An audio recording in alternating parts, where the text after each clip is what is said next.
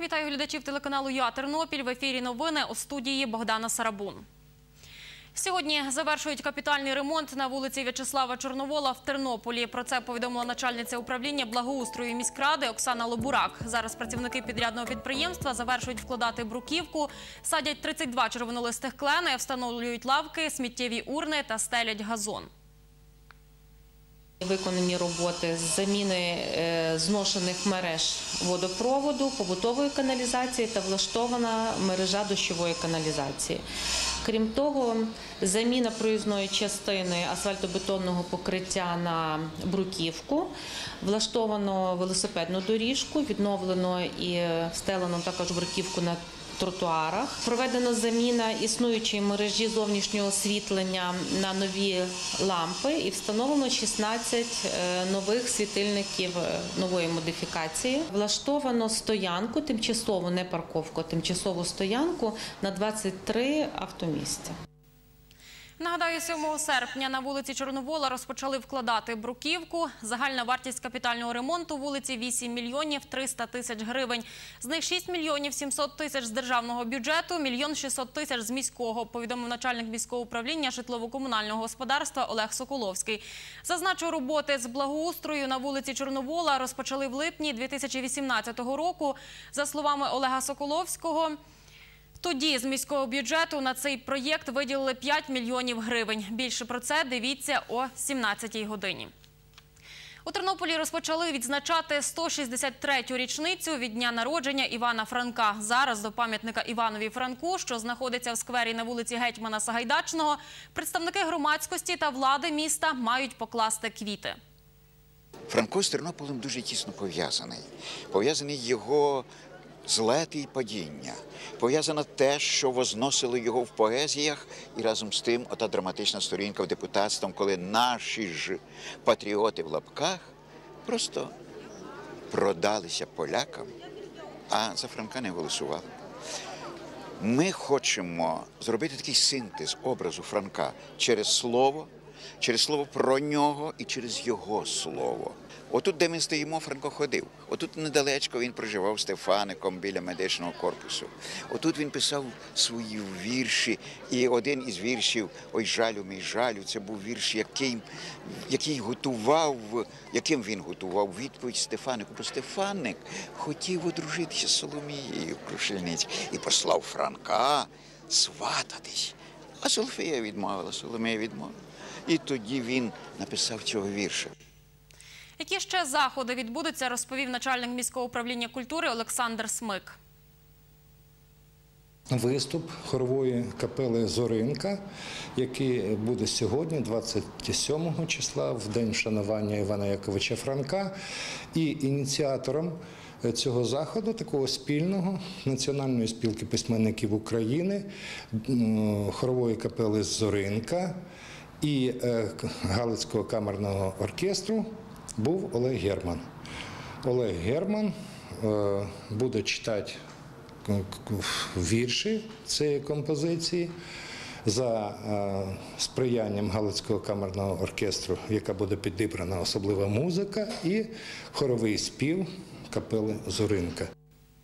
Зараз на події перебуває наша знімальна група. Більше про це дивіться о 17-й годині. Іван Франко народився 27 серпня 1856 року у присілку Війтова гора села Нагуєвичі Самбірського округу Королівства Галичини та Володимирії.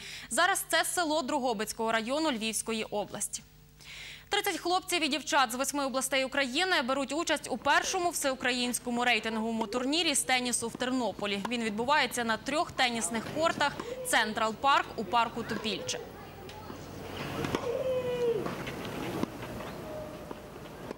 З двох сетів вони грають до шести геймів. І хто виграв, той проходить далі. Хто програв, вилітає. Є учасники як і серед хлопчиків, так і серед дівчат, які входять в десятку кращих в Україні. Е, представники з Франківська. І серед дівчат, і серед хлопців вони входять в десятку кращих в Україні. Там є представниця, дівчинка і хлопчик. От, тобто вони якби фаворитами рахуються. Тернопільська команда це приблизно троє-четверо чоловік тут приймають участь. Е, Теж непогані гравці. Спортсмени віком від 10 до 12 років змагаються за олімпійською системою в одиночному та парному розрядах, розповів організатор змагань Олександр Цибульський. Нагородження переможців турніру відбудеться завтра, 28 серпня. У Тернополі на літній естраді в парку Тараса Шевченка триває Кубок України з універсального бою. Участь у ньому беруть 127 спортсменів з 11 областей України. Сьогодні в останній день змагань мають визначити та нагородити переможців. Вчора провели 35 поєдинків. Як це було, бачила наша знімальна група. У першому поєдинку зустрілися Олександр Питель з Тернополя та Євгеній Хотінь, який представляє команду Львівської області. Спортсмени подолали смугу перешкод, після чого зустрілися у рукопашному бою. У першому поєдинку виграв Євгеній Хотінь. Універсальним боєм він займається три роки. Я виграв чисто перемоги е, больовим прийомом на руку. Змагання дуже серйозні, дуже класні. Е, Хочу сказати, е, виграв чи програв, не є різниці. Головне, що ти набрався певного досвіду. Олександр Питель з тернопільської команди оцінив суперника. Суперник хороший, гарно попрацювали, хороший дух, привели дух. Одночасно взаємо, взаємоповага, дружба. Суддя національної категорії Андрій Чудик розповів, сьогодні і завтра поєдинки з універсального бою відбуватимуться у категорії класика. Після проходження смуги перешкод спортсмени в рингу змагаються із застосуванням ударної техніки, китків, больових та задушливих прийомів. В вагових категоріях у чоловіків 9 вагових категорій, починаючи від категорії до 60 кг. І найважча категорія це понад 95 кг. Градація вагових категорій йде по 5 кг. Е, У жінок 7 вагових категорій, найменше до 48 кг і найбільше понад 78 кг. Фінальні і півфінальні поєдинки Кубку України з універсального бою відбудуться завтра. Анжела Шова, Оксана Галіяш. Новини на Суспільному. Тернопіль. Змагання розпочалися 23 серпня. У Кубку України з універсального бою взяли участь спортсмени-представники Національної гвардії України, Державної прикордонної служби, служби з надзвичайних ситуацій, служби безпеки України, організатори Кубка, Федерація універсального бою України, Міністерство молоді та спорту, Тернопільська міськрада, розповів співорганізатор Микола Подоляк. Це вся інформація на цю годину. Наступний випуск дивіться о 17-й.